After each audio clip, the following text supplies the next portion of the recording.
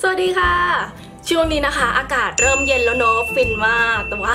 อากาศเย็นๆแบบนี้ไม่รู้จะอยู่กับเราได้นานแค่ไหนนะคะ แล้วก็สภาพอากาศแบบนี้นะคะ จะเห็นได้ว่าช่วงเช้าอากาศเย็น และตอนตกบ่ายเนี่ยแดดค่อนข้างแรงนะคะพอเจออากาศแบบนี้ทำให้สภาพผิวของเราเนี่ยแห้งแล้วก็เสียความสมดุลได้ง่าย ๆ มาก ๆเลยนะสำหรับวันนี้นะคะบุญมี skincare มาแนะนำทุกคนนะเพราะว่าอากาศแบบนี้บุญว่าต้องเน้นเติมความชุ่มชื้นที่ผิวเยอะหน่อยนะ และที่สำคัญนะคะ ต้องอ่อนโยนด้วยเพราะว่าช่วงนี้บุญก็จะมีปัญหาเรื่องสิวฮอร์โมนที่ยังขึ้นอยู่นะเพราะว่าบุญเริ่มกลับมากินน้ำน้อยแล้วก็นอนพักผ่อนน้อยนะคะทำให้ผิวเนี่ยค่อนข้างที่จะอ่อนแอนะ เพราะฉะนั้นเนี่ย skincare ที่บุญจะมาพูดถึงในวันนี้นะคะ ดีงามตรงที่ราคาน่ารักสบายกระเป๋านะคะ แล้วก็มีความอ่อนโยนเหมาะกับผิวแพ้ง่ายด้วย และเติมความชุ่มชื้นที่ผิวได้ดีเหมาะกับสภาพอากาศที่เริ่มเย็นๆแล้วแบบนี้ด้วยค่ะ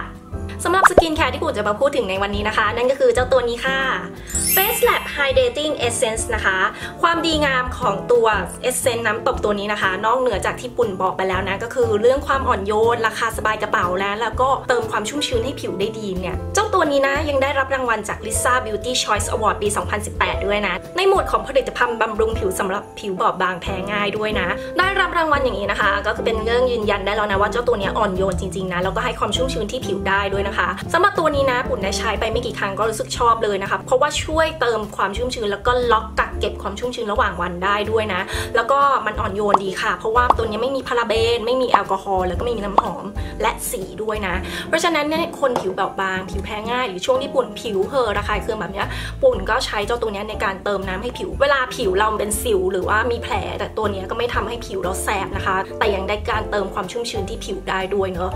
หน้าที่หลักๆ ของเจ้าตัวน้ำตก Essence จาก Face Lab ตัวนี้นะคะ ก็จะช่วยในเรื่องของการล็อกกักเก็บความชุ่มชื้นอย่างที่ปุ่นบอกไปเมื่อกี้เนาะแต่เป็นการเติมน้ำให้ผิวถึงผิวชั้นในเลยเนอะแล้วจะช่วยทำให้ผิวเราเนี่ยเนียนนุ่มนะคะ แล้วก็ยืดหยุ่น และทำให้ผิวกลับมามีสมดุลมากขึ้นไม่ลอกแห้งเป็นขุยนะคะ ตัวนี้นะคะเด่นๆเนี่ยจะมีสารบำรุง 2 ตัวหลักๆนะคะ ก็คือตัว Sodium Hyaluronate นะตัวนี้จะมีขนาดโมเลกุลที่เล็กกว่า Hyaluronic Acid นะคะ เพราะฉะนั้นเนี่ยมันจะทำให้ความชุ่มชื้นเนี่ยซึมผ่านเข้าผิวได้ง่ายมากขึ้นนะคะ แล้วก็ยังมีอีกตัวหนึ่งนะคะที่ชื่อว่าโซเดียม PCA นะตัวโซเดียม PCA เนี่ยก็จะทำหน้าที่เป็นเหมือนเกราะป้องกันผิวที่ช่วยในการล็อกกักเก็บความชุ่มชื้นระหว่างวันนั่นเอง ก็ต้องมาลงที่ผิวให้ดูกันด้วยนะ เพื่อที่ทุกคนจะได้ดูนะคะ ว่าตัวเนี้ยลงซึมผิวแล้วเป็นยังไงบ้างสัมผัสนะคะ เดี๋ยวเราไปดูกันนะคะว่าหลังลงแล้วจะเป็นยังไงกันบ้าง ไปดูกันเลยค่ะ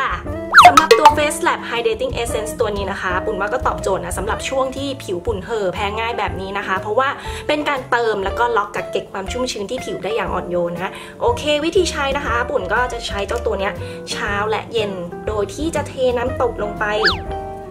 น้ำตบจะเป็นสีใสๆนะคะ วอมที่มือให้ทั่วนะคะ แบบนี้นะ เราจะใช้วิธีหน้าเบาๆ ให้ทั่วหน้าแบบนี้นะ จนเอเซนส์เนี่ยซึมเข้าผิวหมดก็คือเรียบร้อยนะ ผิวหลังลงนะคะ จะรู้สึกว่าชุ่มชื้นแล้วก็ยืดหยุ่นดี เวลาที่ใช้ต่อเนื่องเนี่ยจะรู้สึกว่าผิวไม่เสียความสมดุลนะ แล้วก็ไม่แห้งลอกเป็นขุยด้วยค่ะ ส่วนสัมผัสนะบางคนอาจจะอยากรู้ว่าเฮ้ยมันเหนอะหนะไหมในเมื่อมันให้ความชุ่มชื้นได้ดีนะสำหรับปุ่นนะคะ ลงตอนแรกเนี่ยจะรู้สึกเหมือนมันหนึบหนึบนิดๆนะคะ แต่พอซึมเข้าผิวแล้วเนี่ยรอให้มันเซ็ตตัวเนี่ยก็เท่าที่จับผิวตอนนี้นะคะ จะรู้สึกว่าผิวนุ่มยืดหยุ่นแต่ว่าไม่เหนอะหนะนะ เพราะฉะนั้นปุ่นว่าใช้ได้ทั้งอากาศร้อนแล้วก็อากาศเย็นๆนะคะ จะเห็นได้นะคะจากที่ปุ่นลงให้ดูไปแล้วนะ ว่าน้ำตกเนี่ยมีความชุ่มชื้น แต่ว่าไม่ได้ทำให้หน้าเนี่ยมันเหนอะหนะหนักนะคะ แล้วก็ที่สำคัญได้ความอ่อนโยน แล้วก็ระหว่างวันเนี่ยปุ่นจับผิวแล้วผิวก็รู้สึกว่ายืดหยุ่นดีไม่ขาดน้ำนะคะ แล้วก็ไม่แห้งลอกเป็นขุยด้วยเนอะที่สำคัญราคาน่ารักสบายกระเป๋านะคะสำหรับเจ้าตัวนี้นะคะ ขนาด 30 ml เนี่ยราคา 395 บาทนะ ดูเหมือนจะเล็กนะ แต่จริงๆ ใช้ได้เยอะแล้วก็นานทีเดียวเลยนะ ตัวนี้ตอบโจทย์กับทุกสภาพผิวแล้วก็ใช้งานง่ายด้วยนะ ที่สำคัญนะคะ หาซื้อง่ายมากๆเลยนะ เพราะว่ามีตามแบบ Lazada s h o p e e หรือว่าวัตสันมัลตี้แล้วก็ตามซูเปอร์ในห้างใหญ่ๆนะคะ ไม่ว่าจะเป็นเดอะมอลล์พารากอนหรือว่าตามท็อปส์ก็มีนะสำหรับ skincare ที่บุญเอามาพูดถึงในวันนี้นะ ก็อาจจะเป็นทางเลือกให้สำหรับใครหลายๆคนที่แบบอยากเติมน้ำให้ผิว แล้วก็อยากได้ความอ่อนโยนไม่ระคายเคืองผิวนะคะ แล้วก็ราคาสบายกระเป๋าปุ๋นว่าตัวเนี้ยตอบโจทย์เลยทีเดียวนะ ยังไงก็ลองไปดูกันนะคะ วันนี้นะคะปุ่นไปก่อนแล้วเราไว้เจอกันใหม่วิดีโอหน้านะคะ ถ้าใครชอบวิดีโอนี้ปุ่นฝากกดไลค์กดแชร์หรือว่ากด subscribe ให้หน่อยนะคะ แล้วก็ออย่าลืมติดกระดิ่งให้ด้วยนะ ขอบพระคุณมากมากเลยค่ะ